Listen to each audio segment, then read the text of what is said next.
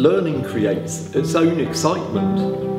To feel this energy generated of the children's fire as a source of spontaneity, of impulsive, creative enthusiasm.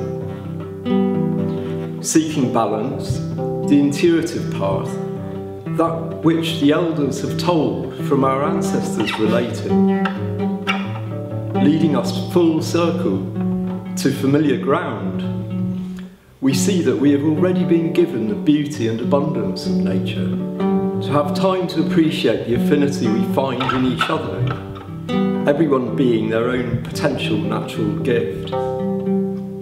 The simplest expression of freedom being spontaneous play, leading us to creative solutions to problems and opening up ways we can come together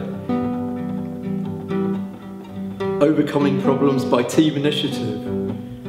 This which we hold in common and share freely would suggest to me a world where alienation is no longer a prevailing condition,